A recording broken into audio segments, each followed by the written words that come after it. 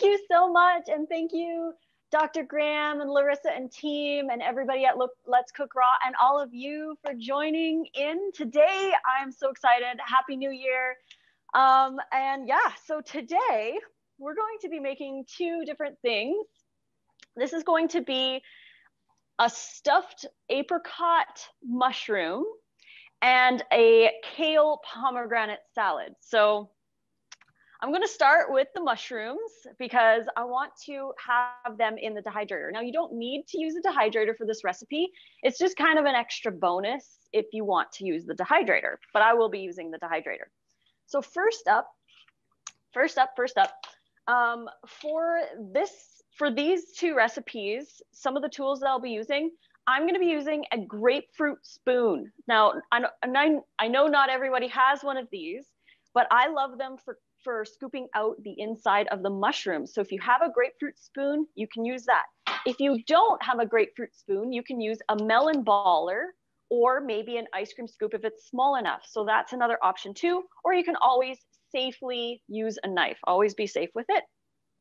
We're gonna be using a Vitamix or high-speed blender and a food processor. If you don't have a food processor, you can always use the blender as well, it still works. It's just not as chunky. It's a little bit smoother.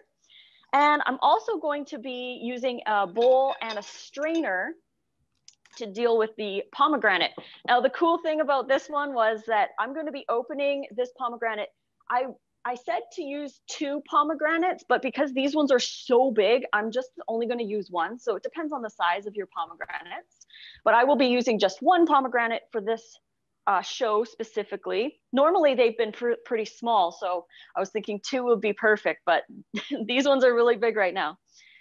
So, and then otherwise you'll need like um, a, citrus reamer, a knife, and a good cutting board, and your dehydrator if you're gonna use the dehydrator.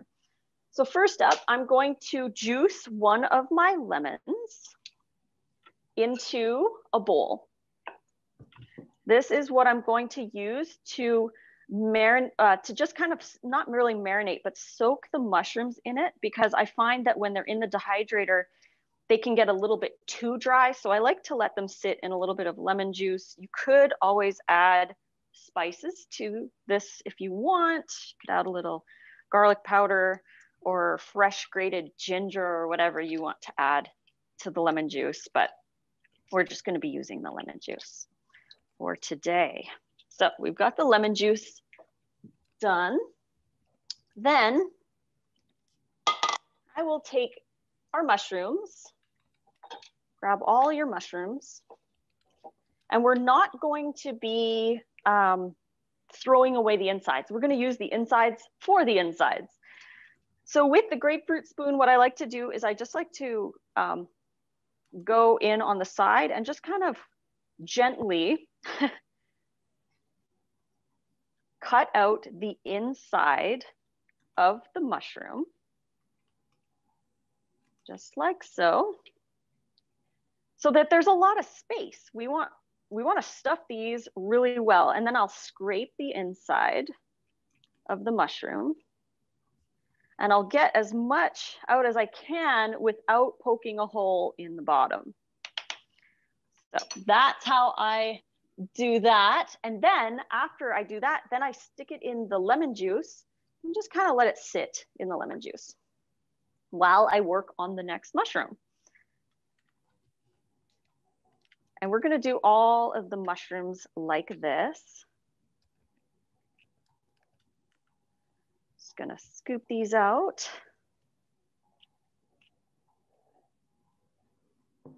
And I personally prefer the brown crimini mushrooms, but the store didn't have any bigger ones for stuffed mushrooms. They only had the little itty bitty tiny ones. So I had to go with the white, unfortunately, but they're still good.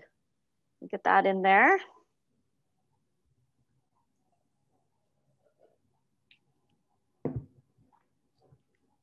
And sometimes if you're using a melon baller, that might work better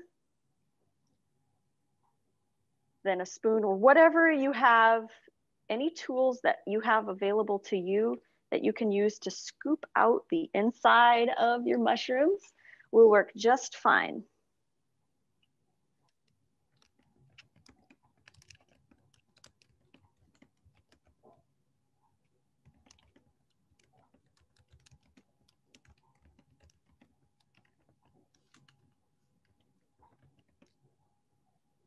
There we go. We have another one. I'm actually only going to do the four right now, just to save time. So we've got these mushrooms here like this. Once they're finished, you can leave them in the lemon juice if you have enough space for them. You could have multiple bowls or a larger bowl with the lemon juice inside. What we wanna do next, actually I do need to do the rest of them because I need more mushrooms. So let's try to get these all, all scooped out in a timely fashion. so Lissa, would you eat them for breakfast, lunch or dinner? What's your timing on those? um, I, these are one of my favorite things to make for, um, it's kind of like a side, best for dinner time, I would say. Um, and also best for winter kind of like holiday gatherings. I feel like they're a really good appetizer or something that you can share with friends. You can take them um, to parties and stuff. I mean, when we're able to have parties, but um, they're actually in my winter recipe book. So I just adapted the recipe slightly. And this one here is one of my favorites for holidays. So for like the traditional meal or whatever you decide. So Lissa, will we be using the stems in this recipe? Yes, yes, we're going to be using these stems to bulk up the inside because we need enough to fill them again. So yeah, don't throw those away. We're going to need them. You can add them to your blender or your um, food processor if you want. You can get those in there started.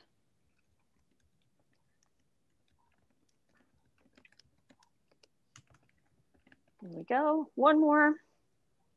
And this works best with 12. I unfortunately, like I said, the, the store was very low on options. So I was only able to get nine for the show because I, I actually made some already that's waiting in the dehydrator to show you after.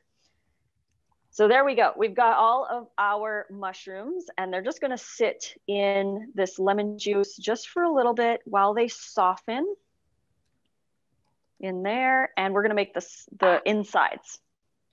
So we'll just set that aside. And next up, we've got our food processor and we're gonna start with all of the stems from our mushrooms.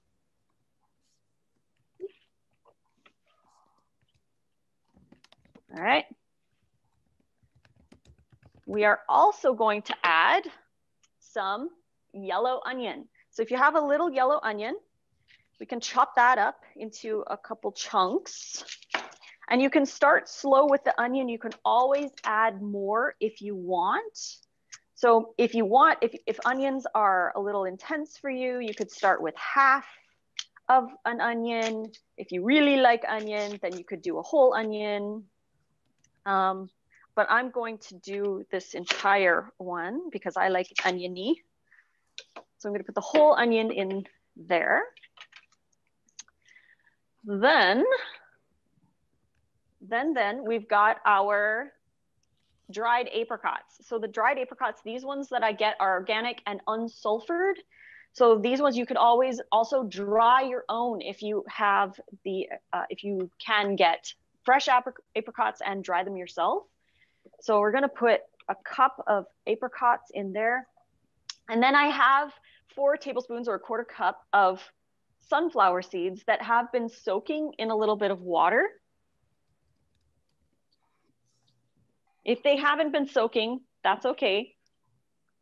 I'll just use the soaked sunflower and add a little bit of water here just to get the rest of them out. there we go. And then for flavor, again, you can start slow with whatever spices that you add to this, and you can add any other spices that you want. I'm gonna use two cloves of garlic. You can use one clove if you want to start. We've got half a teaspoon of onion powder. We have half a teaspoon of sage. And we have a quarter teaspoon of thyme. So we'll do those three. And that's that. So the next step is to blend. So let's get this blended here.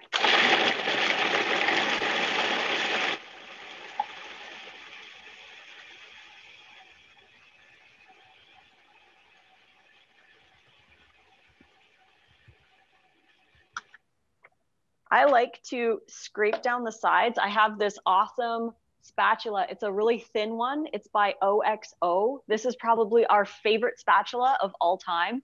we want to get a whole bunch more of them because we find we're always using them. It's so good and it fits in the Vitamix really well. So what I like to do is just pull down some of the stuff that has been on the side, mix it up a little bit, and then we will blend it a little bit longer.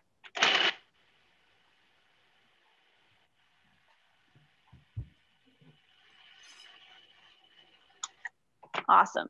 Now, again, if you do not have a food processor, that's okay. You can use the Vitamix or any blender that you have, totally fine. So now that that's ready, we're going to stuff our mushrooms. We've got our mushrooms.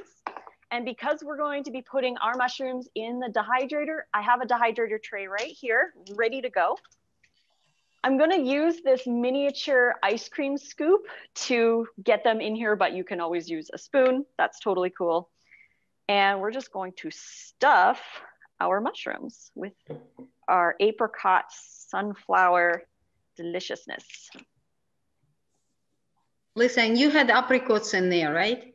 Yes, dried apricots. You could use dates or figs if you want, if you aren't able to get apricots, but if you're using fresh sage, how much should you substitute for the powdered sage? Um, if you're using fresh, I would use a little bit more, maybe, um, I would say maybe half a teaspoon or sorry, half one teaspoon worth of fresh sage, but you can always add more. Once you've blended this, you can give it a taste. And if you want to add more, you can always add more and then blend it because it can really be based on like personal tastes. A lot of people will try a recipe and they'll say, oh, it's too sagey or I need more sage. So definitely give it a taste and see how you like it. And if you want to add more sage, definitely add more. And fresh sage is always best, of course. Lissa, do you soak the uh, apricots you can, but I did not soak them for this one because um, I like it a little bit chunky instead of as smooth. So, but you can definitely, definitely um, soak them beforehand if you want. Lissa, it also. Oh, sorry, go ahead. No, go ahead. You go ahead.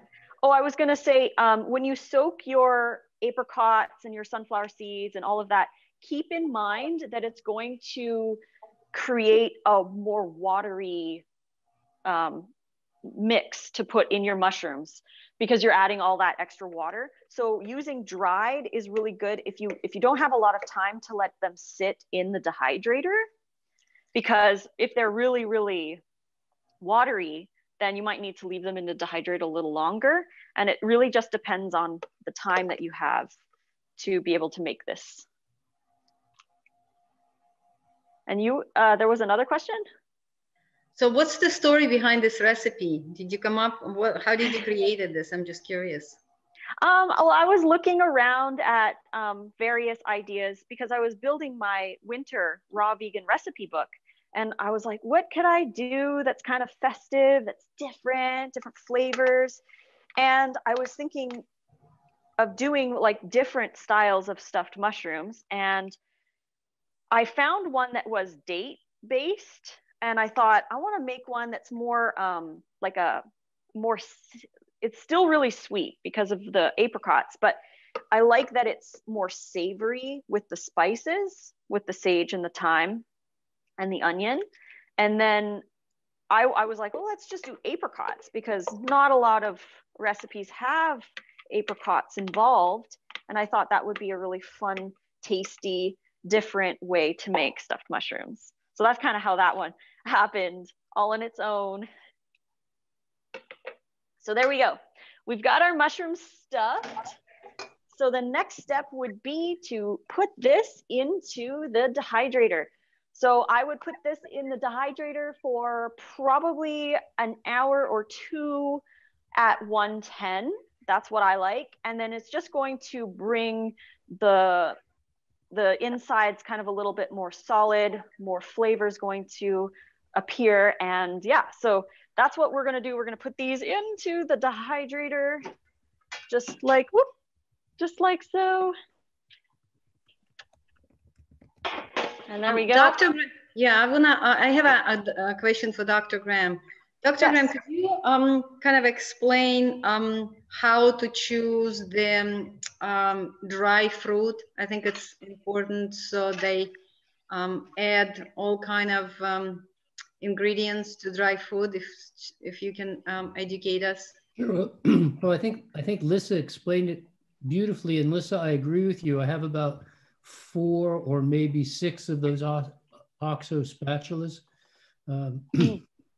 But I also actually like the Vitamix spatula, which is my favorite. So I've got more than that of those. Vitamix spatula is just the best.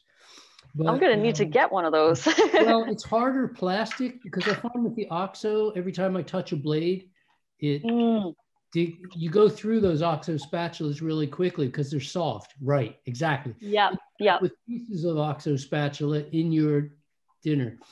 Um, so, but explained it perfectly. Uh,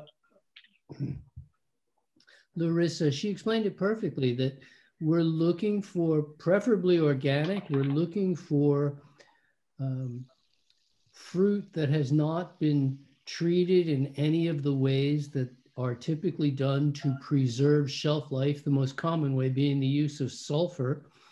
Uh, and that not only preserves shelf life, but it also it, it's used to prevent oxidation that causes color change in the fruit. So if you saw, although apricots are typically orange or yellow, or maybe even a touch of green on them, um, the fruit that Lissa was using was very dark in color. And it darkened because it had oxidized a little bit, which is not necessarily a bad thing.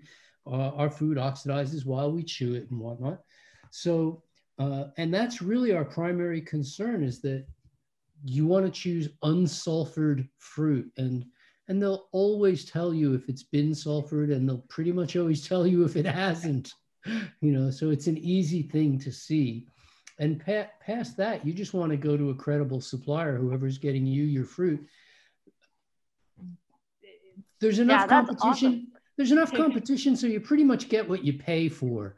If you buy high quality figs they're going to be better than low quality dried figs you know and, and if you buy high quality dates you're going to pay a little more but you're going to get better dates the work the world's already sorted all that out for us and the same with dried apricots or any of the other things um, you know you you can find some remarkable deals but it's usually a lower quality fruit so thank you. Agreed. Thank you. Yeah, thank you. You don't want that sulfur. Uh, free sulfur is really hard on our system. It it does a lot of things that are harmful to us. The most probably the most nasty one is is it affects a structure in your brain called the corpus callosum, which allows the left side of your brain to coordinate with the right side of your brain, uh, which makes for some very poor decision making, and, and you can't make associations in the same way. You won't be able to do a lot of hypothetical or math or or positioning of things. Left and right brain functions, although they seem like you're either left sided or right sided, not really. They're actually talking to each other all the time and free sulfur interferes with that. So we're not looking to have sulfured fruit.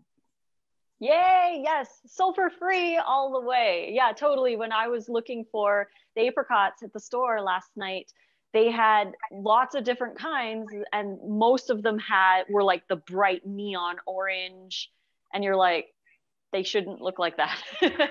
so I went to look for the organic um, unsulfured version and they were more expensive, but I treat my body with as much respect as I can. So that's why I chose those ones.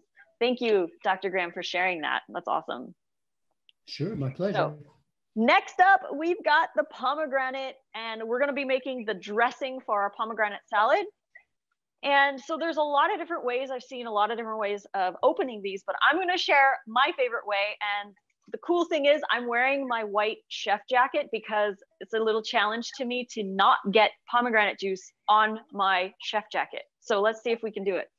What we're going to use is a giant bowl of water. So if you can get a giant bowl and fill it with water enough for you to submerge your hands into, that would be awesome. Then what you wanna do is you wanna chop off the top of your pomegranate. And I'm gonna do that just over here, over the sink, because I know that's going to be a little bit extra juice, but here we go. I'm just gonna top, chop off the top of the pomegranate. This one is a little different. All right, so once you chop off the top, then you wanna chop down the sides where it has, where the flesh meets the ring around the skin. So right here, I would give it a little bit of a cut down the side. Right here, I would give it a little cut down the side. Here, and here looks like one. And you wanna do this anywhere where you see kind of like the, uh, the white part heading to the edge. So there'll be quite a few on here. Just cut those down the sides. And then the best part, then we put our pomegranate in the water where you can safely open all of your of, of your sections without having it spray all over your face. So here we go. And it's really easy to just kind of play with the pomegranate and, and just get those seeds off without having all of that extra juice spraying everywhere. So this is my personal favorite way to get the seeds out of a pomegranate. I feel it's the easiest for me, but again, everybody has like different ways of doing it. Um, this one I found to be the best. I hope you guys are having fun. It's kind of cool to have to play with the seeds in the water like this. And you'll notice another really cool thing about this technique is that all of the little, the, the pith that floats, it just floats to the top. So you can just skim it off and then you can use a strainer to get all of the seeds out of the water when you're done.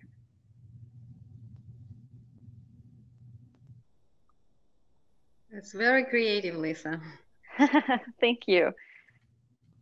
Because I found when I when I was originally, you know, whenever I'd get a pomegranate, I would always end up rinsing my hands over and over and over and over again. It was just like, oh, it's so much work to take all the seeds out of a pomegranate. So I never really ate them very often. And then one day I was like, like what if I just um, did them under a running faucet?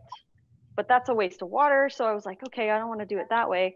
Um, but it was helping because I could just have the pomegranate under the running water and I could deseed it really easily. But then I was like, what if I just had a bowl of water? And it works just just so. It's awesome. I'm sure other people have figured this out too. I know I'm not the only one that's probably doing this. But see, it's so easy to get all the seeds out of the pomegranate. So keep deseeding. Playing around with the seeds. And this is a great moment to get in connection with your food and just really kind of like meditate and enjoy the process because a lot of us are disconnected with our food and how it's prepared. We've been eating fast food for the majority of our life, for many of us, and it's not as connecting as if you do it yourself. So, taking that time to just say, play with your food, it's awesome, it's fun, it's rewarding, and you're getting it as fresh as possible.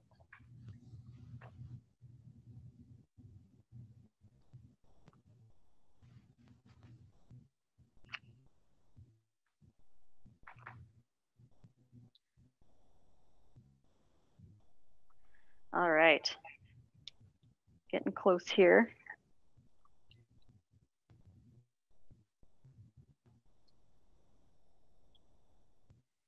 We will probably need about one cup worth of the seeds. So if you have about a cup in there, we should be good to go just to save a little extra time. So what I'm gonna do is I'm gonna take the pomegranate out of the water and skim all of that pith off the top and some of the stuff from the bottom.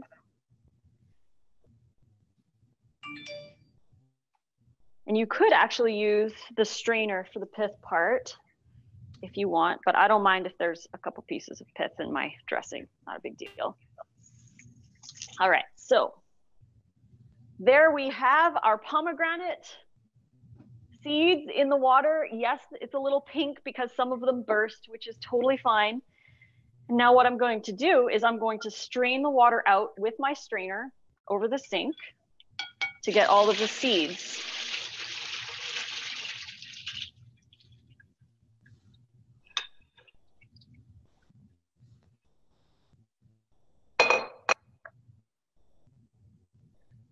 And voila, we've got our pomegranate seeds without getting messy. Hope you guys enjoyed that little technique. So we're gonna move on to the dressing. Actually, let's do the salad first. Let's create the salad first. So I have here um, purple kale. You can use any kale that you like or any lettuce that you like. It doesn't have to be kale. I like kale just because I like the purple kale. Um, it's very seasonal. And if you're doing this for like a holiday recipe or whatever, um, the purple kale is really nice. I like to destem them and then massage slightly. You can kind of rub it in your hands, get it a little softer if you want, just to break it up so it's not as rough because I don't like using salt or oil to do so. So you just gotta just gotta rub it together. and then once that's like that, then you can just put it into your bowl and keep going with your kale. And make sure you wash your kale really well as well, because I've noticed that um, it can be quite gritty if you don't wash it really well. And sometimes rolling it on the counter is good. Just get it nice and soft.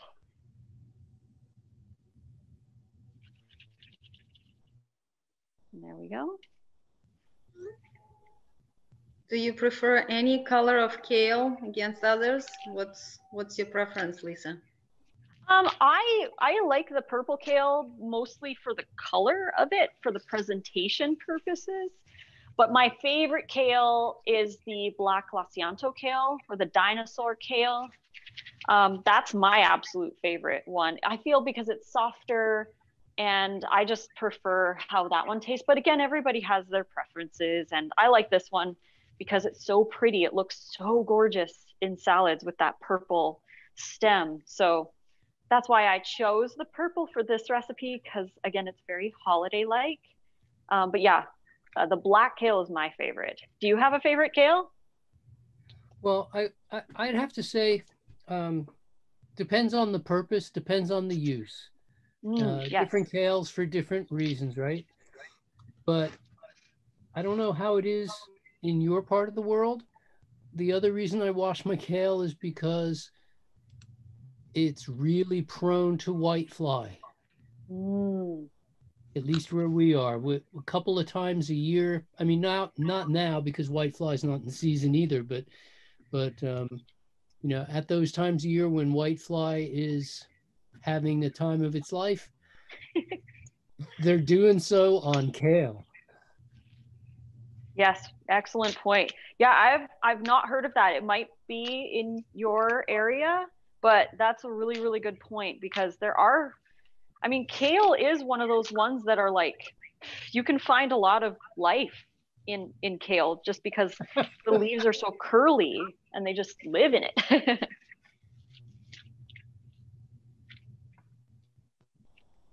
yeah, giving it that that massage.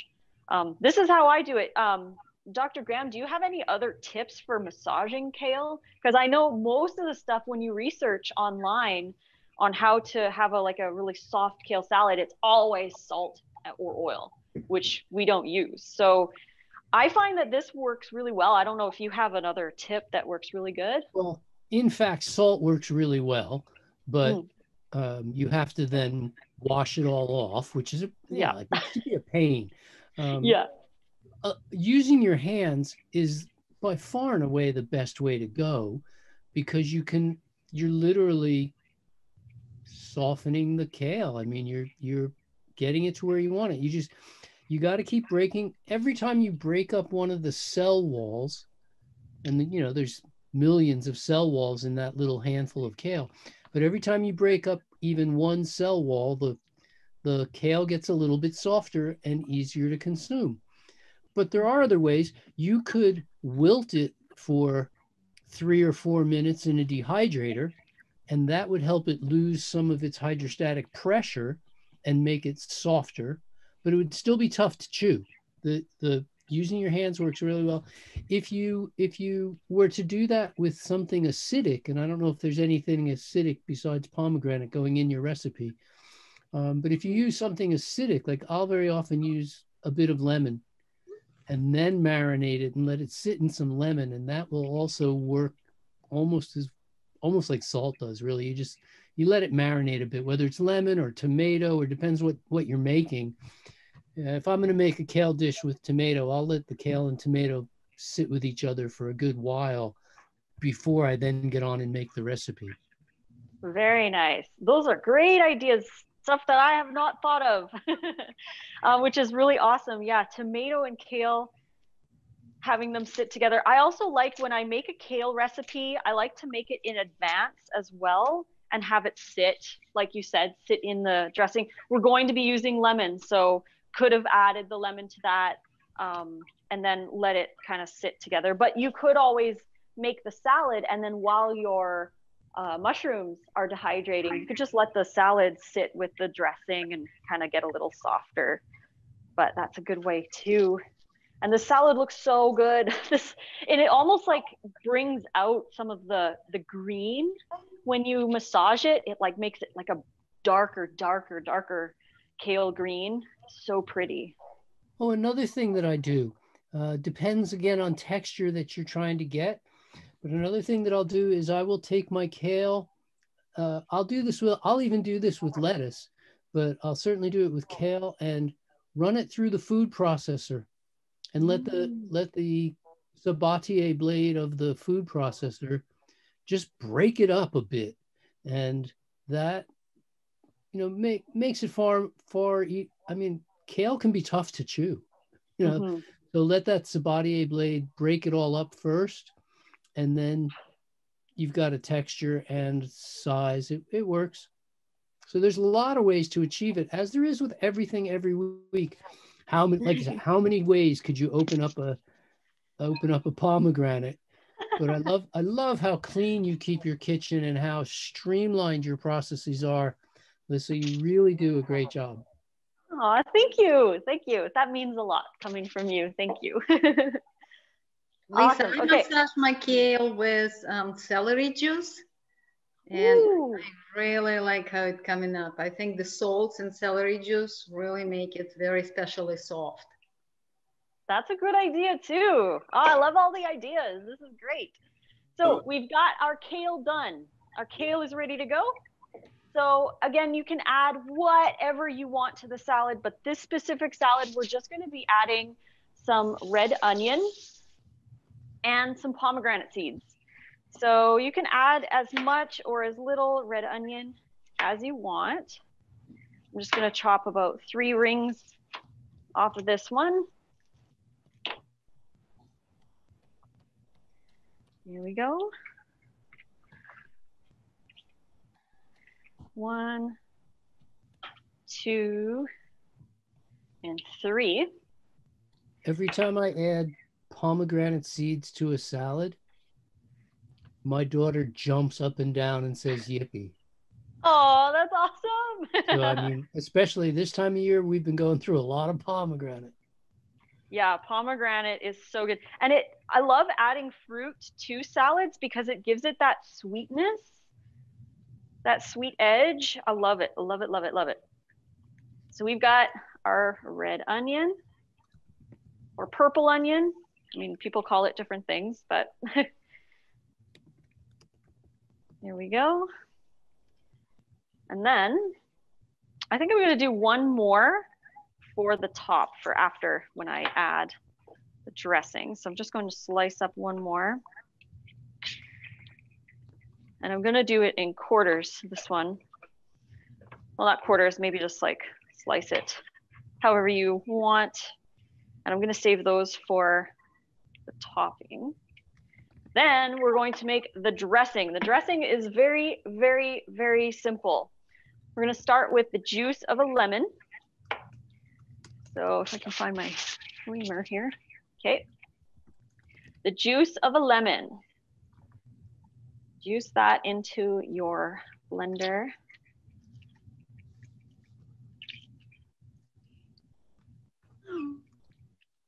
Just like so.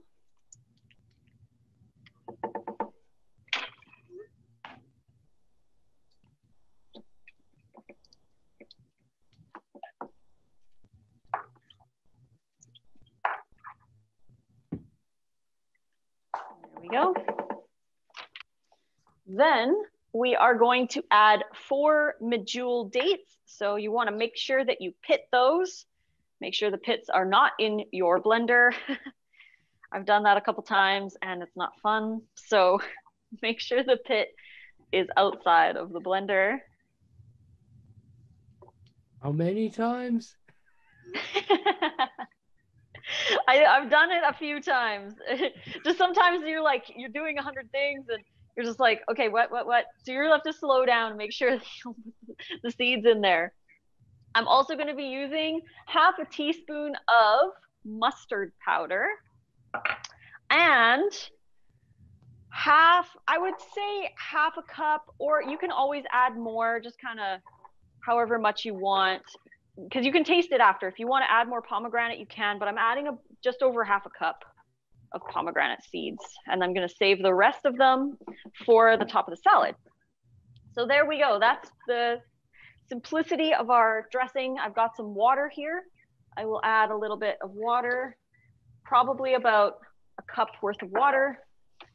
And you can always add more if you want a thinner dressing, add more if you want a thicker dresser, don't add as much.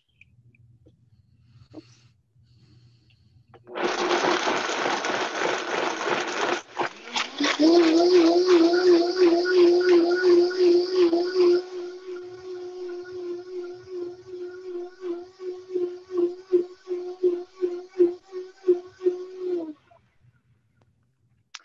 there we go. We've got our dressing ready to go. And it's beautiful pink color. So you can pour that over top of your salad, just like so. And top it off with a little bit more red onion if you want. And your pomegranate seeds. Ones I made this morning for you guys, and I had it. Oh, you guys, you guys can see me. We're okay. We can see you now. You froze for a moment, but we have a, a question too about what went in the blender just now. Oh yeah, yeah, for sure. So in the blender was the juice of one lemon, four pitted medjool dates, half a teaspoon of mustard powder, and just over half a cup of pomegranate seeds with a little bit of water, about a cup of water. Thank you. Thank you. You're welcome. And so these mushrooms I made this morning, so they have spent some time in the dehydrator just to show what they look like when they're finished. Would you have been just as happy if somebody used orange juice, grapefruit juice, pineapple, mango, or anything else along those lines instead of water? Definitely. Definitely. Thank you. I, I think it's great. Like you said, it's great to experiment with different flavors. Anything acidic is going to work pretty well with right. it. Um, I, I think it, those sound wonderful and I want to try them. But here we go, you guys. We made it. We've got our stuffed mushrooms and our pomegranate kale salad all finished and ready to go. I hope you guys enjoyed. oh my gosh, Lissa, that was so awesome. Thank Fast, you. beautiful, exciting, creative, beautiful presentation. Thank you so much. Really appreciate Thank you. Contributing to Let's Cook Raw. And uh, guys, I want to tell you that Lissa committed to be on uh, February 14th. She will do Valentine's show with her husband, Nate. So make sure you register. We'll put that show shortly. Yes, that's going to be so much fun. Nate's really excited to do the recipe with me on the show. So that's going to be a fun one. Make sure you come to that one. It's on Valentine's Day. yes, yes. Thank you, Lissa. Thank you. Thank you so much. Really appreciate your happy smile, beautiful, beautiful recipes, beautiful presentation. Thank you very much. Thank you. And I will make sure to get some pictures for you.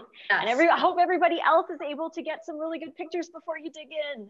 Yes, pictures important. We'll uh, insert them in our replay videos. So every time you watch it again, you'll see your past past creations. So make sure you send it to us.